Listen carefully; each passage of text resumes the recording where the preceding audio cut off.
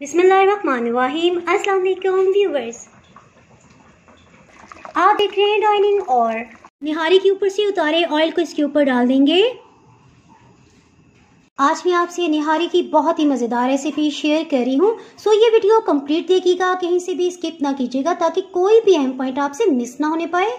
अगर मेरी वीडियोस अच्छी लगी तो लाल सब्सक्राइब को क्लिक कर दें। साथ में ये जो बेल का आइकॉन है, इसको क्लिक कर दें।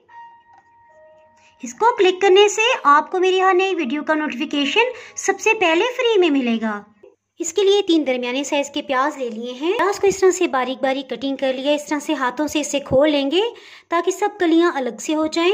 इसके लिए खुला पैन लेंगे और प्याज को फ्राई कर लेते हैं। तकरीबन दो कप ऑयल है। प्याज भी अच्छा सा सुनहरी रंग आ गया, सो इसे निकाल लेते हैं। इसे फैला के डालेंगे। कोशिश करें कि इसका रंग ज़्यादा डार्क ना हो। दो खाने वाले चम्मच लहसुन अदरक इसमें जाएगा? लहसुन अदरक का पेस्ट इसमें शामिल कर देंगे। तली हुई प्याज दो खाने वाले चम्मच इसमें डाल देंगे और इसे अच्छी तरह से ब्लेंड करके पेस्ट बना लेंगे। आधा कप पानी इसमें शामिल कर देंगे।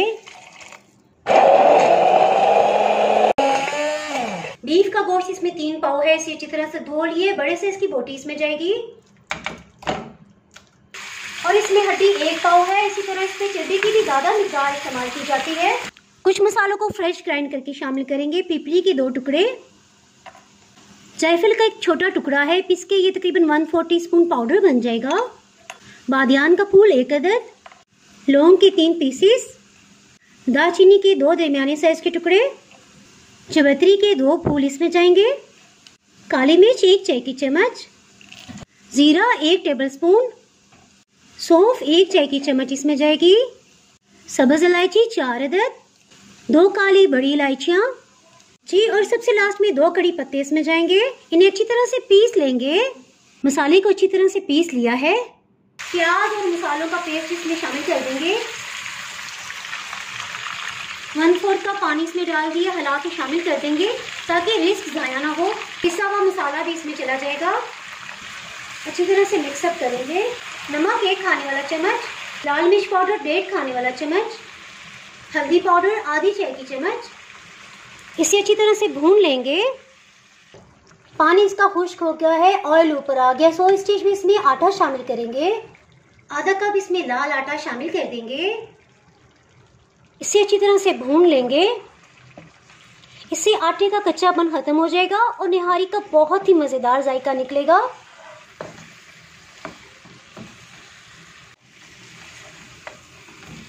धीमी धीमी आँच पे इसे पकने देंगे।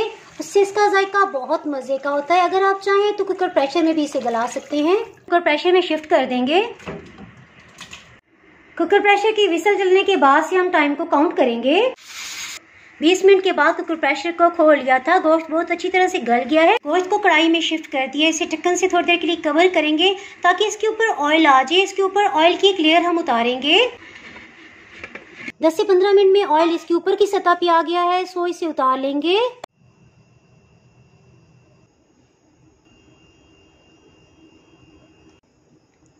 इसमें दो खाने वाले चम्मच लाल आटा शामिल करेंगे। अब हम एक पेस्ट बना रहे हैं। इसमें आधा कप पानी शामिल कर देंगे। इसे अच्छी तरह से मिक्स कर लेंगे।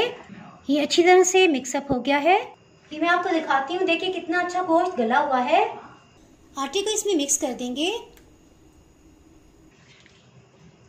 आटे में से कच्चापन खत्म करने के लिए तकरीबन धीमी धीमी आँच पे आधा घंटे तक इसे पकाएँगे। सो ढक्कन से इसे कवर कर देंगे। जी देखें इसे इस तरह से गाढ़ा होना चाहिए। सो इसके साथ ही हीट को ऑफ़ कर देंगे। तली हुई प्याज, इसके साथ ही सलाद को भी कटिंग कर लिया है। सालन को सर्विंग प्लेटर में निकाल लेते हैं। निहारी के ऊपर से उतारे ऑयल को इसके ऊपर डाल देंगे। तली हुई प्याज थोड़ी सी ऊपर से डाल देंगे।